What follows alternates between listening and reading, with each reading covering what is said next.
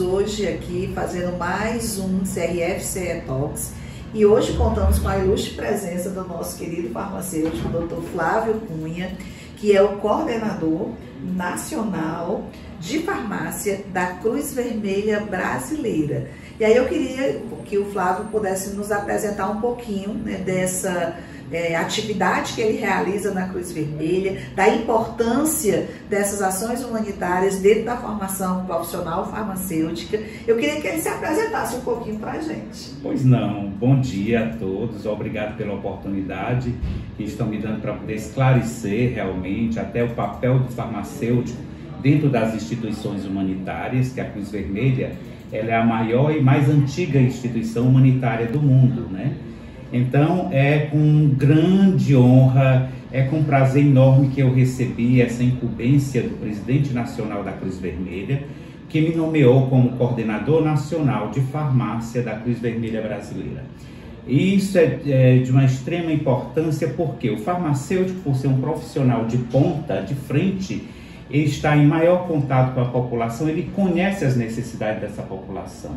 Então, é uma oportunidade que nós temos para o quê? Para darmos assistência realmente necessária à população, levarmos os trabalhos de assistência farmacêutica, o lado humano, é, esse, essa, suprir essa necessidade humana da população e ao mesmo tempo mostrar para a população, para o, mundo inteiro a importância do que o farmacêutico tem dentro dos programas de saúde. Por ser um profissional de saúde, ele tem uma abrangência muito grande. Então, é uma grande oportunidade que nós estamos tendo agora. É um, um departamento novo que foi criado agora dia 24 do mês de agosto, agora de 2022 e eu fui nomeado como coordenador nacional de farmácia da Cruz Vermelha Brasileira. E pretendo, juntamente com o apoio dos conselhos regionais e federais de farmácia, realizar um grande trabalho dentro no âmbito farmacêutico aqui no Brasil, inicialmente. Depois pretendemos ir para o exterior. Expandir o mundo. Isso. A gente primeiro quer parabenizar né, o Flávio por a é, indicação para ocupar esse cargo, né, ocupando aí pela primeira vez essa função, parabenizá-lo pela brilhante atuação que tem tido ao longo dos muitos anos. Ele me contou que ele já atuou, inclusive, em ações humanitárias fora, fora do, do, Brasil. Brasil. Conta pra gente dessa experiência. Pronto. É, o meu, eu entrei na Cruz Vermelha como voluntário em 1995, maio de 1995 me apaixonei pela Cruz Vermelha por um programa que eu assisti na Rádio Nacional, né? Quando falava da atuação da Cruz Vermelha no Vale do Jequitinhonha, e então aquilo me despertou aquela vontade, disse, não, eu tenho que ser um desses aí. Então, quando eu vim para Fortaleza, quando cheguei aqui, em 1995 eu ingressei na Cruz Vermelha como voluntário normal e coincidiu de um programa da Federação Internacional, junto com os é, os africanos, principalmente o pessoal de Angola, uhum. onde existem muitas pessoas amputadas de mina terrestre, né, em consequência da Revolução Angolana, de independência angolana. Então, nessa época, eu estava fazendo uma outra faculdade, né, que na época eu fazia fisioterapia. Sim. Então, eu fui para lá para atuar no sentido de treinar, reabilitar esses pacientes para uso de próteses. Voltando para cá, me decidi, já tinha conhecido o trabalho de um farmacêutico de uma outra instituição humanitária, então me apaixonei pela ciência farmacêutica e vim para o Brasil. E cheguei, quando cheguei aqui, eu decidi fazer farmácia. Hoje é a minha a profissão que eu abracei realmente, é a farmácia, né, a profissão farmacêutica, e me dedico 100% da minha vida à profissão farmacêutica. Então, hoje eu atuo basicamente aqui no Brasil, por enquanto. Já fui convidado para atuar em outras ações fora do Brasil, mas tivemos esse problema da Covid. Passei esse tempo da Covid quase todo na fronteira norte do Brasil, atuando né, na capacitação de profissionais e de voluntários para a testagem para a Covid-19. Trabalhei também na, na, capacitação de voluntários para trabalharem no ônibus de vacinação. Enfim, a gente não para. E aí a gente pode perceber, Flávia, assim, com essa sua fala, que o farmacêutico ele é realmente esse profissional super versátil, que ele pode sim atuar nessas causas humanitárias e na prestação também dos primeiros socorros. Sim, sim. Houve aqui no, no, estado do Ceará, em Fortaleza, uma situação bem complicada, que foi a queda de um prédio. Sim. Você atuou nessa área? Ah, sim, foi do edifício Andréia. Né? Nós atuamos. Até então nós não tínhamos o escritório do órgão central aqui em Fortaleza, que ele é novo, só tínhamos a filial estadual e nós fomos chamados para coordenar esse serviço de resgate. Eu estive lá para trabalhar juntamente com os outros voluntários e trabalhei na parte de assistência farmacêutica. Em que sentido? Porque no momento como esse, as pessoas querem ajudar de alguma forma e muitas vezes eles mandam produtos farmacêuticos, medicamentos que muitas vezes aquele profissional que está trabalhando não pode usar aquele produto. Então eu como farmacêutico eu selecionei todos os medicamentos que poderiam ou não ser usados naquele momento. Ah, mas não tinha um médico? Sim, mas o médico estava lá preocupado em atender uma possível vítima que estivesse ainda com vida. Sim. Mas eu estava ali justamente na porta de entrada para poder separar o que podia, poderia ser usado naquele momento ou não. Eu também atuei no sentido de prestar socorro humanitário a essas pessoas de APS, apoio psicossocial, que o farmacêutico também ele tem essa sensibilidade.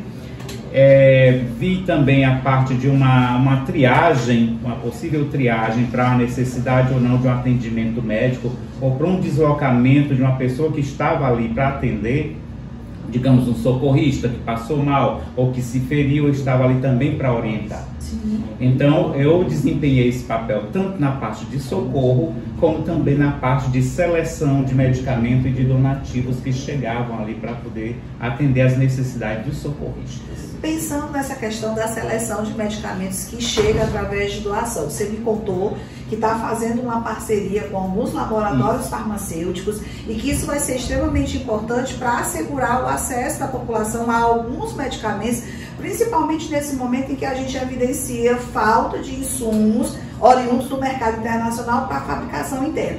Como é que é essa proposta aí da Cruz Vermelha? Pronto, a proposta da Cruz Vermelha, a, a primeira preocupação, a preocupação inicial da Cruz Vermelha surgiu no momento em que é, a Cruz Vermelha, por necessitar de medicamentos para atender a necessidade de algumas, de algumas comunidades é, vulneráveis, nós não tínhamos esses medicamentos. E o que nós tínhamos notícia é de que carradas e carradas de medicamentos eram incineradas.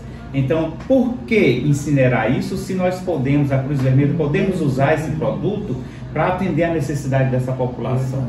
Então, em primeiro momento, nós entramos em contato com alguns laboratórios, nós fomos atrás e sugerimos o seguinte: olha, o medicamento por um tal período de validade, você pode poderá nos doar para que possamos passar para essa população porque nem todo mundo pode comprar, por exemplo, um antibiótico, já que ele, ele tem um tempo determinado para usar aquele produto e muitas vezes é muito caro e ele não tem muitas vezes nem mesmo o dinheiro para comprar o alimento, quanto mais comprar um antibiótico.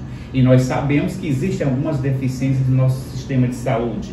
Então, a Cruz Vermelha Brasileira, a Cruz Vermelha, de uma forma geral, como auxiliar do poder público nos serviços de saúde, então ela vê, ela tem essa visão que justamente é o nosso escopo, é minimizar ao máximo o sofrimento alheio. Então, nesse sentido, principalmente agora nesse período de pandemia, onde o que o que mais se justifica a falta dos produtos é a falta de insumo de, vindo de países é, estrangeiros, então a, a Cruz Vermelha, por ter esse potencial, ela buscou, está buscando parceria com outros com laboratórios para que eles possam nos doar esses produtos e nós possamos passar para a comunidade. Ah, mas só vai doar? Não. Nós iremos fazer também parceria com a parte privada, para que esse produto chegue àquele setor privado de um preço mais baixo, para que a população tenha condições de adquirir aquele produto. A gente pensa na perspectiva da doação, mas a gente também pensa na perspectiva do medicamento subsidiado. Isso. Porque se você consegue comprar o mesmo produto com um preço menor,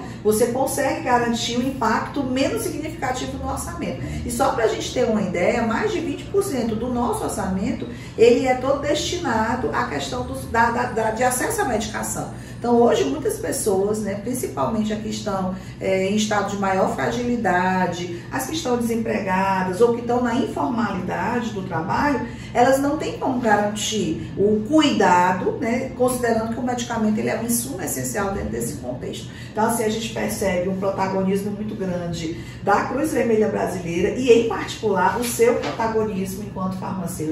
Isso nos deixa imensamente felizes, enquanto Conselho Regional de Farmácia do Estado do Ceará, a gente sabe da importância que é dar visibilidade a farmacêuticos assim como você, né, que contam uma história e que fazem uma história tão bonita para a nossa profissão, que é uma profissão, além de essencial, indispensável à saúde pública.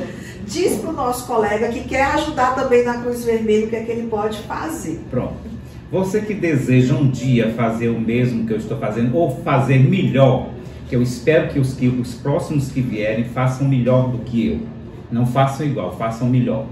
Então, procure a, a nossa sede estadual, que fica na rua Doutor José Lourenço, ou vá na rede social busque Cruz Vermelha Brasileira Ceará e veja o dia que irá acontecer o curso de formação básica institucional. Você fazendo esse curso, você vai se tornar um voluntário. E daí, com o tempo, as suas atividades irão mostrando quem realmente você é, o amor que você tem, e um dia, quem sabe, você alcance um patamar bem mais alto, que voluntário já é um patamar altíssimo, né? Porque quando a proporção que a gente cresce, a gente vai assumindo muita responsabilidade. Mas isso é muito bom, porque a gente está fazendo aquilo que a gente gosta. Cuidando de pessoas isso. e principalmente fazendo a diferença da vida das pessoas que cruzam o nosso caminho. Quero parabenizar a Flávia, desejar muito boa sorte e dizer que o Conselho é um parceiro também da Cruz Vermelha Brasileira. Que bom. É, eu sempre disse que ser farmacêutico é algo de é algo muito bom, porque é um profissional que é, é, é uma profissão antiquíssima, né?